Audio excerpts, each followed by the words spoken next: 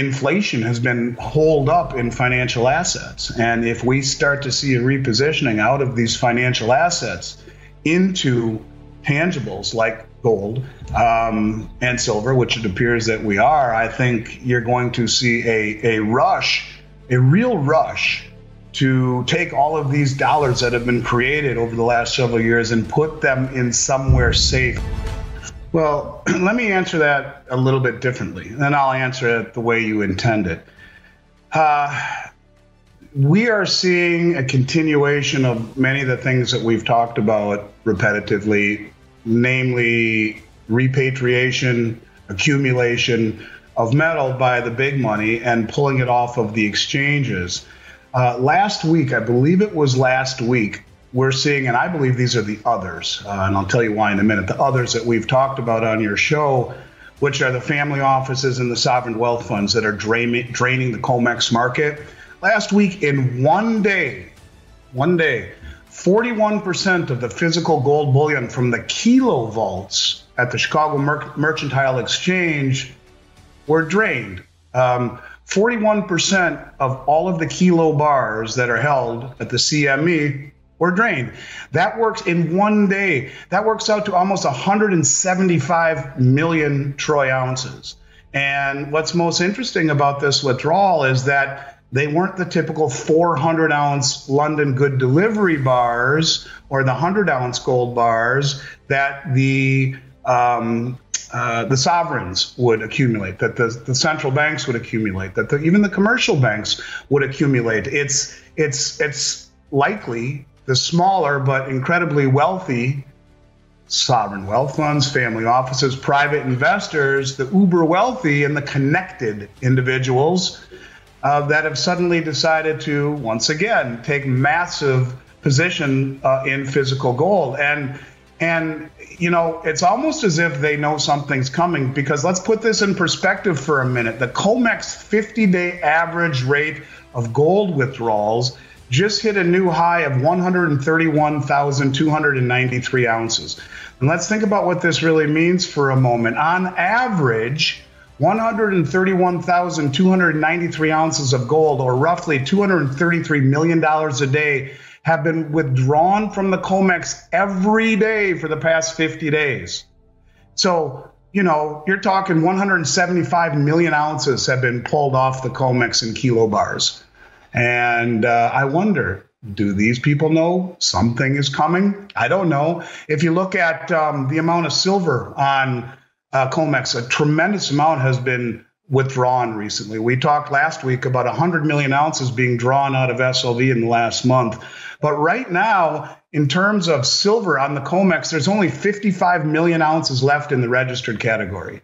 To put that in perspective, we've seen that much delivered off of COMEX in the last five months. So, in theory, there's only five months worth of deliveries left on COMEX in the registered category. Yet, we were told a week before that that over 200 million ounces were taken out in one day on the London Metals Exchange. So big, big, big money is taking possession of metal and in staggering amounts. Um, so I think whether you're talking people here in the retail space who are waking up to what rising interest rates will do to their equity portfolios, um, to their bond portfolios, to their real estate portfolios, or inflation does to their cash holdings. Um, I think that you're seeing an awakening again, a, a gradual awakening that is continuing. We've talked a lot about this.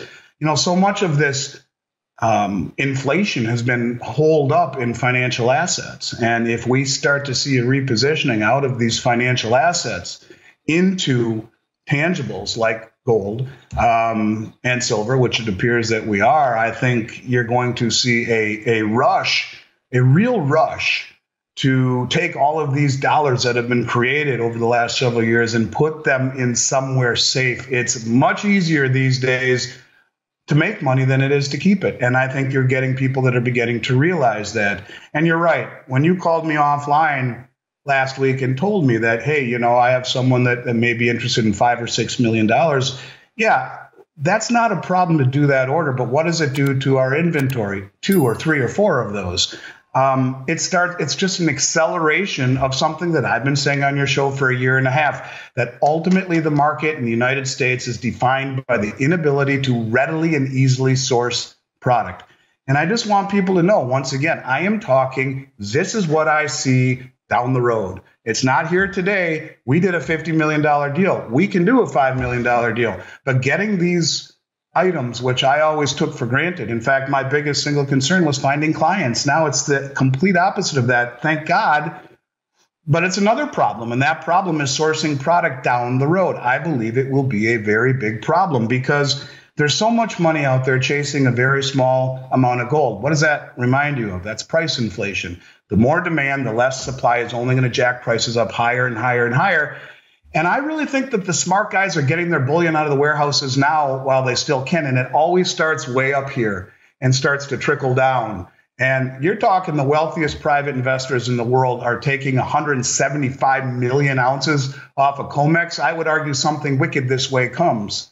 And then it will start to transition down to the little guy, me, you, and everyone else. And, and, and we're the little guys. We're not the commercial banks. We're not the sovereign wealth funds. We're fighting for the scraps. But, you know, when you see that kind of record withdrawals happening on both COMEX, silver, and gold, backdooring out of SLV by the commercial banks, uh, and huge exchange for physical withdrawals on the London Metals Exchange, they're doing pulling out all of the stops to take physical possession.